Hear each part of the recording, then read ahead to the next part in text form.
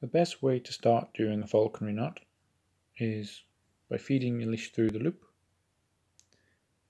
Two fingers. Remember this line here is where your bird is, so your bird's on your left hand. Two fingers goes underneath the taut line, the tight line here. Makes this triangle. Your thumb wants to go in. Hook what's in your two fingers pulls it up slightly, in your two fingers here, should then go around the back and over to where your thumb is here. Pull it through, which as you can see makes this little loop. Then all of the last bit of your rope, your leash, gets pulled all the way through. And then you can see as I pull the bird or as the bird pulls away, it tightens it.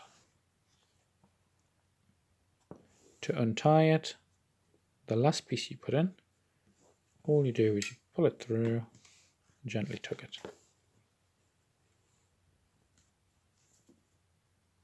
Like so. Unties. And again, at speed, thumb over, thumb in, round the back, through, and the remainder last bit in, tugs. And does it.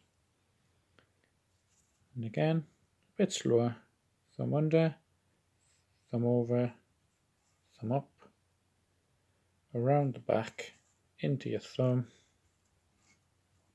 make a loop, remaining leash goes through. Pull your bird away, slash hand here, and that is your falconer's knot.